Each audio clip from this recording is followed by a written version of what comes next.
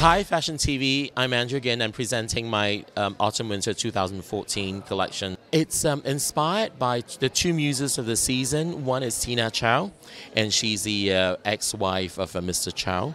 Um, she represents the graceful and sensual part of the collection.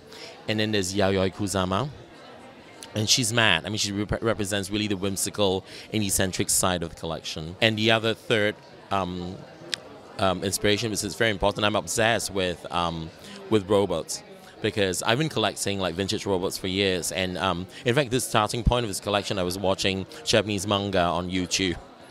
And I was like, oh my God, I got to do something with it. So there's sort of that Japanese culture coming in as well. So um, I was talking about the robots to the other journalists, I saying that, you know, it's the robots for us, for me, it's really the modern or future samurai.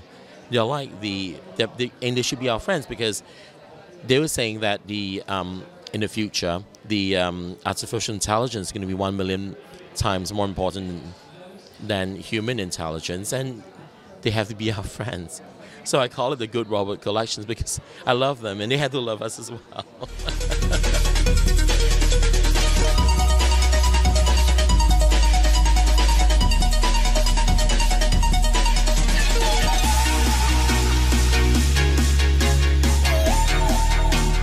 silhouettes, yes. It's a lot of long, elongated, um, very flowy kind of silhouettes, and there's also very sort of hourglass inside in the second part, and um, and also there's a part of it is extremely like sort of dark and graceful and sensual, and the other part is like a burst of colors and applications and motifs, and so it's interesting to diversify the collections in two ways.